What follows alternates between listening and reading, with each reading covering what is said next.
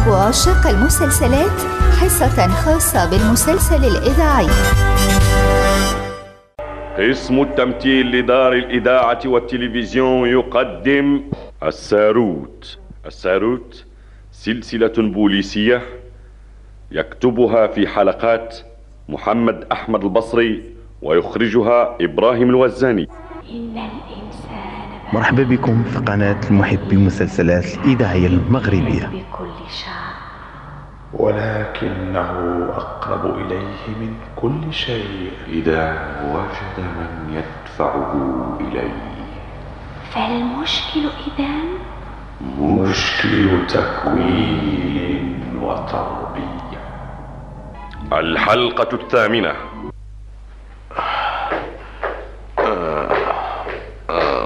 إبراهيم. هاك هاك تشرب. نود بشوية بشوية. هكا خذ. ربي يحفظك بنيتي سلوى. كيف كتحس نفسك شوية؟ لاباس؟ ايوا أنا كان ودي المكتبة بنيتي بسم الله. صافي أرح ما يكون بس عمي إبراهيم. الحمد لله على سلامتك. ربي يسلمك ويحفظك لشبابك من محاين الزمان بنيتي بغيتي شي حاجة نقربها لك؟ لا بنيتي هاد الساعة لا بارك الله فيك. أنا غادي أنا نصيفط لك فاطمة تجلس هنايا. إلا احتاجتي شي حاجة تمدها لك. حيت أنا خارجة نمشي نشوف أمي في المدينة. الله يعرض لك الخير يا سلوى. أه سلوى سلمي على أمك من عندي. يسلم عليك الخير. الله يهنيك هاد الساعة. لاباس عليك عمي إبراهيم ما يكون. لا لا يوريك بس تمشي على خير بنيتي.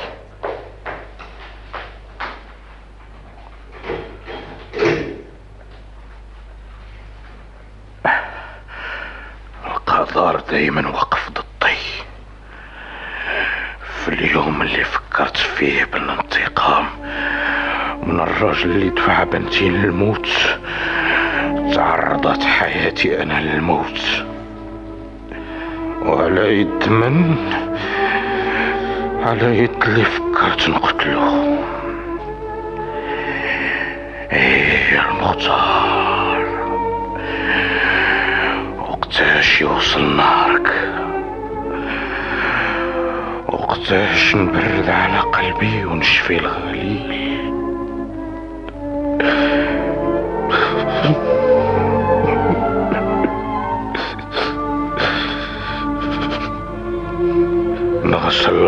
وسختي به حياتي أنا الضعيف. أنا البئيس. أنا اللي ما كنتش نقدر نشوف الدجاجة والخروف كيدبحوا قدامي. أنا اللي كنت كنكره نشوف الدم قدام عيني. اليوم صبحت كنتمنى الدم كنشربو ونغرقو على يدي.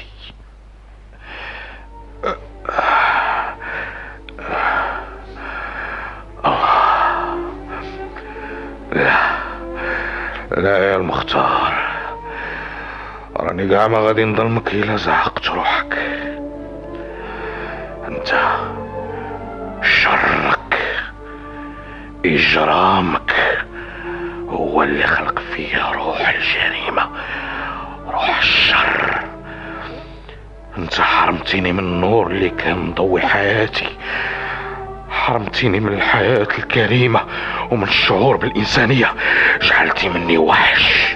نعم وحش. الهم ديالو الوحيد هو القتيلة هو الإجرام. وجعلتي مني أكبر منافق. منافق مع نفسي منافق مع الناس. ومعك أنت بالخصوص. نستقبلك بالابتسامة الصفراء. ونضحك لك ضحكة المخادع. ونخدمك خدمة المسجون. وفي كل عام وفي كل عام كنفكر في الانتقام. وفي كل نهار كنقول هذه هي الوجبة. ولكن كنعاود نوقف ونتردد. باقي ما وصلت المناسبة. ومنين وصلت المناسبة. وقف القدر ضدي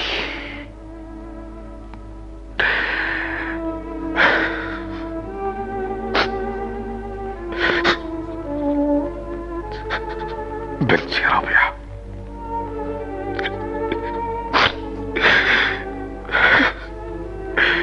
أنا ما زلت زلت مصمم على الانتقام ليك الانتقام.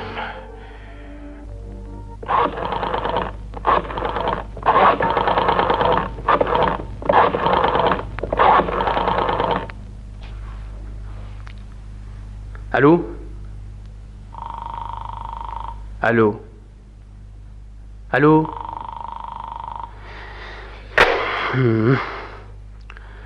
خسارة. خمسة د المرات وأنا كنطلب عزيزة بالتليفون ما كنوجدش اللي يرد عليا.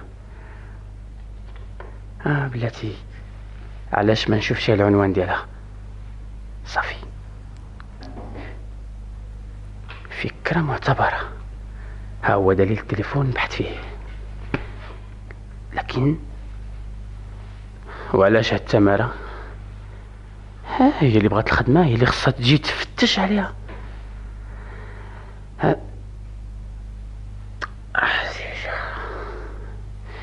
ما كاينش اللي نسيني هاد الهم فاش أنا من غيرها. نبدل هاد الساعة من حسا ورجا في الله. و سلوى؟ بلاش بلاش. الله ينعس الشيطان الحرامي.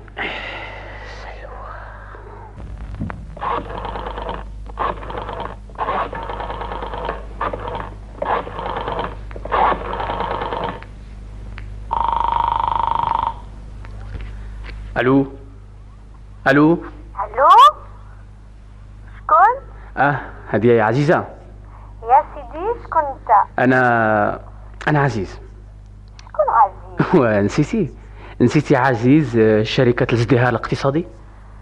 آه أهلا. لاباس عليك. لاباس لاباس. أنا كنت ألو كنت ضربت التليفون خمسة د المرات وهذه هي الستة وما كنتش كنوجدك. مع الاسف وأنا فرحت بزاف اللي وجدتك الآن. علاش؟ وعلاش كتأسفي؟ حيت حيت آه فكرتيني على البحث على الخدمة. ويمكن لك الآن ما تأسفيش حيت الخدمة موجودة. آه بارك الله فيك. وقتاش نبدأ؟ من اليوم اليوم إلا بغيتي. لا لا لا لا لا اليوم ما يمكنليش حيت عندي عيد ميلاد. آه آه اذا كل عام وانت طيبة. شكرا. وهاد الحفلة اللي عندك غادية تكون عائلية ولا؟ عائلية فقط. وغادي يحصل لي الشرف إلا قبلتي تكون واحد من العائلة. كنسكن في شارع الحرية العمارة ستة الطبق الثاني اليوم ستة ديال العشية. تبقى على خير. وأنا غير نايب على الأستاذ عبد الرحمن نايب عليه بزز منه. ياه. مالي كلي كانت راحت. واش هذا خوف مستولي عليا ولا فرح؟ شنو دابا؟ نصرحها نقول لها شكون أنا؟ نقول لها أنا غير محفوظ المحتال محفوظ التافه اللي ما كيعرفش يكسب حتى سميتو. لكن وإلا كرهتني وكرهت حتى تشوف فيا مرة أخرى.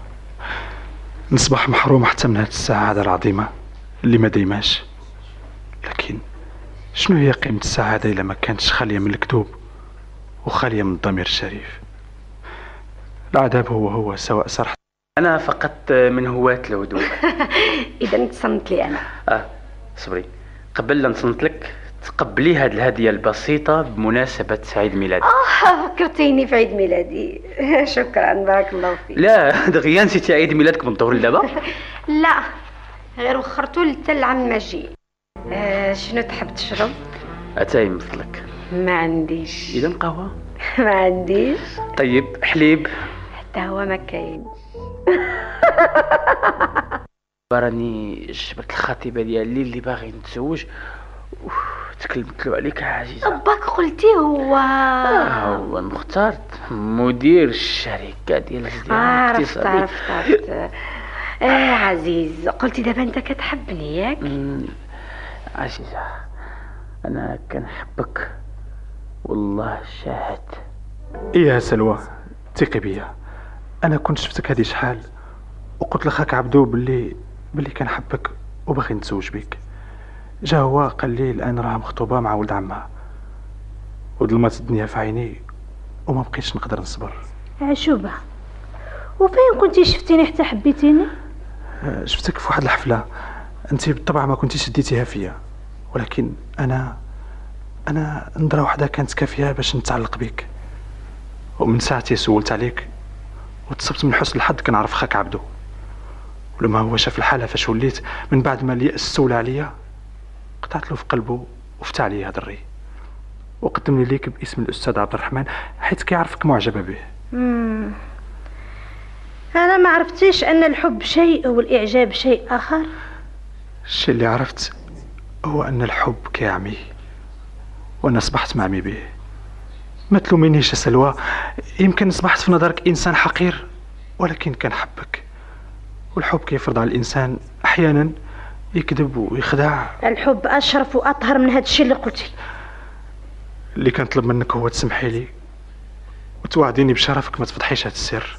وخاك عبدو حتى هو ما ما يسيقش الخبار. أنا أنا مزوق فيك يا سلوى. مرحبا بكم في قناة المحب المسلسلات الإذاعية المغربية. الله يهنيك. آه، شنو اسمك بعدا؟ اسمي. اسمي الآن ما بقات عنده قيمة. الله يهنيك سلوى.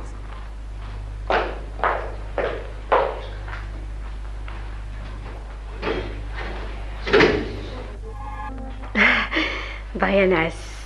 صافي. نشد عليه البيت بالساروت حتى الصباح. وناخد أنا هاد التسجيل نديه لعبدو. عبدو غادي يعجبو الحال يسمع صوت عزيز مسجل كيقول كنحبك يا عزيزة باغي نتزوج بيك. إيه عزيز يا حصلتي في الشبكة. حصلتي في الشبكة. هادي ما كانت تجي تخطر لك على البال يا ولد مدير شركة الازدهار الاقتصادي.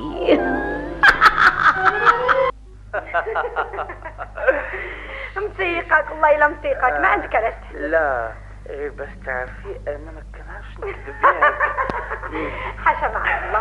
انت ماشي بالكذوب ماشي وإلا بالكذوب بغيتي كاع نتزوجو غدا أنا ما عندي لا ما لا نقول لا لا. الزواج بالله علينا ما علينا جربة. أنا والله إلا من النهار الأول فاش شفتك قلت لبراني شبت الخطيبة ديالي اللي باغي نتزوج. وتكلمت له عليك عزيزه باك قلتي هو. هو المختار. مدير الشركة ديال عرفت عرفت عرفت ما عندي ما نسالك عزيزة تبارك الله عليك. راسك خفيف ها؟ دغيا حطي دورك وتقنتي انت تصلحي تكوني ممثلة بارعة هذيك تربيتك العجيبة يا معلمي العزيز. أوف. أما أنت المحفوظ باقي ما تقدمتي والو. معلوم حيت أنا أنا حيت أنت ياش حيت أنا راجل والمرأة واخا كتحب كتخفي حبها واحد المدة كبيرة. وشوف واش تصارح بيه ولا لا؟ وما تنساش أن سلوى عندها خطيبها كتحبو وصعيب باش تبدل العواطف ديالهم بسرعة. أظن هذا التسجيل غادي يساعدك مرة أخرى بزاف ها؟ على كل حال نحاول ونعمل جهدي إلى هي قدرت تجي. معلوم بالحيلة يمكن لك تجيبها. فين هو ذاك النصيب الكبير ديال الذكاء اللي كنتي كتطفر عليه يا الأستاذ عبد الرحمن محفوظ؟ أنا الآن كنتصرف حسب الإرشادات ديالك. أما ذكائي كاع ما كنحتاجو وما كنخدموش. طيب طيب طيب. أنا غادي نرسم لك خطة وغادي أنت تكمل من راسك ها؟ فهمتي؟ فهمتي يا حضرة الكاتب العبقري. معلوم. فهمت ما دمت أنا عبقري كبير. طيب. هاك هاد الورقة احتفظ بها. راه فيها النمرة ديال التليفون ديال الدار فين كاينة سلوى؟ زعما نكلم لها التليفون؟ معلوم. خلي ليها شي سبة معقولة اللي تجعلها باش تجي تزورك. والي وقتاش؟ وقتاش وقتاش. غدا. خير البر عاجله دابا أنا المهمه ديالي تسالات يا معلم. بالعكس عاد بدات.